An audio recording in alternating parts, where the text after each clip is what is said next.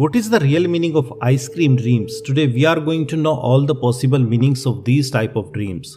So there are some common types of ice cream dreams that people see during sleep. Number 1. If someone sees ice cream in a dream, then this dream is very auspicious and indicates the upcoming good time in which you will enjoy your life with any kind of big success without any delay.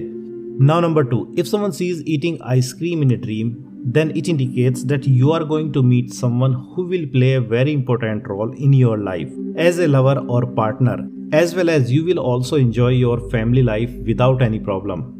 Now, number three, if someone sees buying ice cream in a dream, then this dream is also considered very auspicious and indicates success, profit, and support of others. And due to this, you will get tremendous success in any kind of new work, project, or planning. Now number 4. If someone sees children eating ice cream in a dream, then this dream is also considered very good and indicates a new beginning in relationship, conceiving a child or success in real life.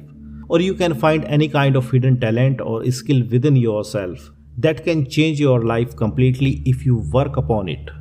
Now number 5. If someone sees ice cream getting melted before eating in a dream, then it indicates any kind of obstacles to getting the desired result in real life. So to avoid any kind of failure, you should cross check your plans very carefully before executing.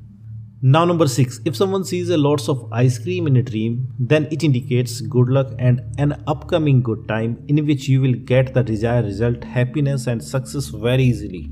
Now number 7. If someone sees making ice cream in a dream, then it indicates success in business, job and relationship without any hindrance due to your creative power and creativity. Now number 8.